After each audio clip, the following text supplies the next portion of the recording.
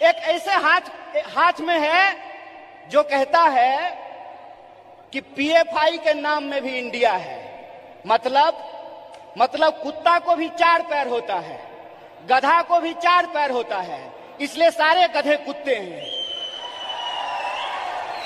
अगर ये रीजनिंग मैं लगाऊँ, जो रीजनिंग इस देश के प्रधानमंत्री ने लगाया है तो मैं ये कह सकता हूँ ना कि प्रधानमंत्री जी को भी दो आँख है और गधा को भी दो आँख होता है।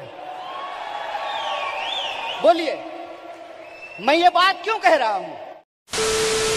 दोस्तों, कांग्रेस नेता कन्हैया कुमार की मोदी जी को लेकर एक स्पीच सोशल मीडिया पर वायरल है। दोस्तों, वायरल वीडियो में कन्हैया कुमार कहते हैं कि जो पीएम मोदी ने रीजनिंग लगाई है उस हिसाब से पीएफआई में इंडिया आता है। मतलब कुत्ते का भी चार पैर होता है और गधे का भी चार पैर होता है। इसलिए सारे गधे कुत्ते ही हैं। वहीं आगे कहा कि अगर यही रीजनिंग मैं लगाऊँ तो जो रीजनिंग पीएम मोदी ने लगाई है तो मैं कह सकता हूँ कि प्रधानमंत्री को भी दो आँख हैं और गधा को भी दो आँख होता है। आगे दोस्तों आप खुद ही समझ सकते हैं। दोस्तों, इस वीडियो को सोशल मीडिया यूज़र्स द्वारा अब खूब शेयर किया जा रहा है। वहीं इस वीडियो पर एक यूज़र ने लिखा, ठेठ बिहारी से पंगा नहीं लेना चाहिए। वहीं एक अन्य यूज़र ने लिखा नीरव मोदी भी मोदी है, इसीलिए सारे मोदी नीरव मोदी मतलब नरेंद्र मोदी भी नीरव मोदी। आगे आप कुछ समझदार हैं। इसी पर एक अन्य यूज़र ने लिखा, ओ भाई, ऐसा कंपेरिजन मत करो यार, सारे गधे स्ट्राइक पे चले जाएँगे। वहीं एक अन्य यूज़र ने लिखा, कन्हैया जी ने ऐसी बंसी बजाई है कि सारे गधे और उनकी झुंड उछलने लगी। फ़िलहाल दोस्तों, कन्हैया कुमार के इस बयान को लेकर आप क्या सोचते हैं, अपनी राय हमें कमेंट बॉक्स में ज़रूर दें।